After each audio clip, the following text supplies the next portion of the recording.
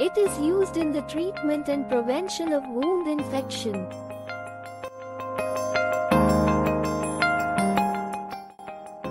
It kills harmful infection causing microorganisms.